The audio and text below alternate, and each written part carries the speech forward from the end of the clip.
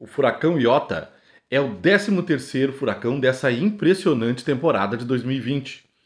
Passou pela ilha colombiana de Providência e algumas outras ilhas menores, deixando muita destruição, são as imagens que tu vai ver durante o vídeo. E nessa madrugada tocou o solo da Nicarágua, ele tinha categoria 5. No momento que tocou o solo foi rebaixado para categoria 4. Todos esses detalhes tu vai ver aí durante o vídeo.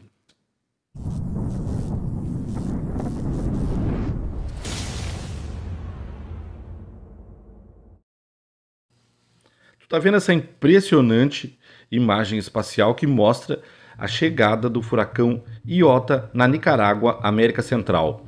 Pessoal, uh, ele causou muita destruição na ilha colombiana de Providência e agora está indo aí rumo ao interior da América Central, uh, onde já tocou o solo nessa madrugada. Infelizmente, no mesmo local que já foi devastado há duas semanas pelo furacão ETA nessa impressionante temporada de furacões 2020. E agora tu tá vendo essa impressionante imagem em 3D do furacão Iota que praticamente toma conta de grande parte dos países ali da América Central. A cobertura desse furacão tu vê nos principais sites aí do nosso país. Eu, eu me baseei muito no site G1, né? E também alguns sites de meteorologia muito confiáveis aqui no nosso país. Então está vendo aí todas as informações e a passagem, inclusive, do furacão ETA pela Guatemala, onde deixou mortos e também muita destruição. Infelizmente está de novo nessa região da América Central, passando outro furacão muito poderoso. Então as imagens uh, tu acompanha e as informações tu acompanha aí no site do G1 se tu quiser te aprofundar mais em informações sobre esse furacão. Enquanto eu vou falando, tu vai vendo essas impressionantes imagens dos ventos que chegaram a 250 km por hora uh, na Nicarágua. Tu tá vendo, pessoal, são imagens da Colômbia, tá? Porque ele passou antes na Colômbia e devastou a ilha de Providência, como já falei, uh, causando danos aí em 98% das construções da ilha.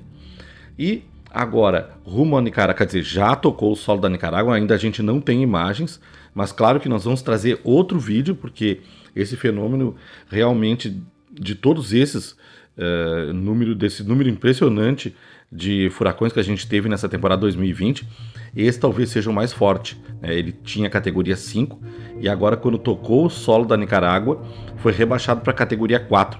Mas mesmo assim, tu sabe que a escala Saffir-Simpson ela vai de 1 a 5, né, pessoal? Então, um furacão de categoria 4 é extremamente devastador.